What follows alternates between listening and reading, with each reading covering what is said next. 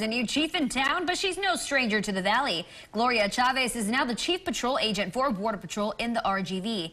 I sat down with the Brownsville native who's breaking barriers within CBP, the largest law enforcement agency in the country. I'm super excited. I'm ecstatic to be here. Meet Chief Gloria Chavez.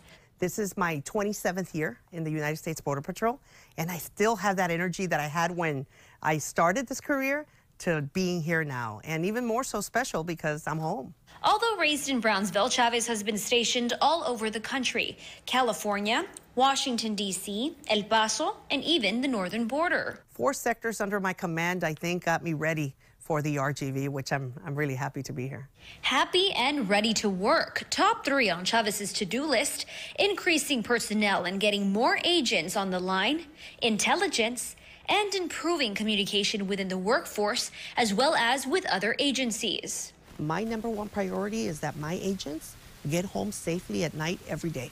And I'm going to invest every effort to engage those stakeholders that are going to assure me that they're going to be able there to safeguard that environment for them. Chavez will also be adding resources to support the well-being of the agents. To me, mental health is super important and I want them to be okay. I want them to be focused. I want them to be able to know that there's a solution for everything out there, and we are going to help them get through some of those toughest times. So I'm really ramping up a lot of efforts behind the scenes right now on uh, suicide prevention. And ensuring support is always available, regardless of their shift or years of service. I want them to know that their chief is behind them 100% that their chief is very proud of the work that they do every day. And that just how they hurt, I hurt. Just how they succeed, I succeed.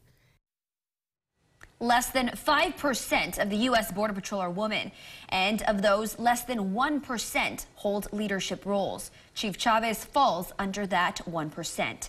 She tells me she's ready to embark on this new chapter and keep the RGV on the map. She's already working on adding a fallen agent memorial outside of RGV sector headquarters.